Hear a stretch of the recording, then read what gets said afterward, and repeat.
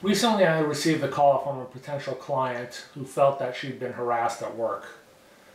Um, her supervisor was walking by and leering at her and showing her pictures of other women uh, dressed in bikinis. In the state of California, it's illegal to harass someone based on a protected character, characteristic such as their sex or gender, their religion, their race, their color, their national origin. These types of protected characteristics. If you feel that you've been harassed at work, please give our office a call for a consultation.